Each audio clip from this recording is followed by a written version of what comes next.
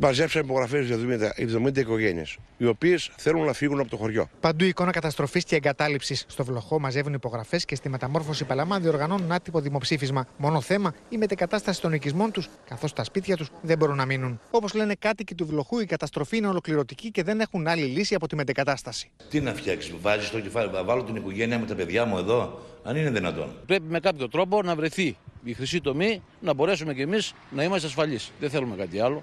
Κανένας δεν θέλει να καταλήψει τον τόπο του. Φοβούνται πως την επόμενη κακοκαιρία θα πλημμυρίσουν ξανά. Άμα βρέξει, τι θα γίνει; Ποιο πρέπει να ξοφλεί με την ακαιρεότητά μου. Στη μεταμόρφωση χαρακτηριστική είναι η εικόνα πολυθρόνας που βρίσκεται ακόμη πάνω στη στέγη. Τίθεται θέμα μετεγκατάσταση γιατί κινδυνεύουν ανθρώπινες ζωές. Έχουμε ήδη δύο θανάτους στο χωριό μου, δύο πνιγμούς.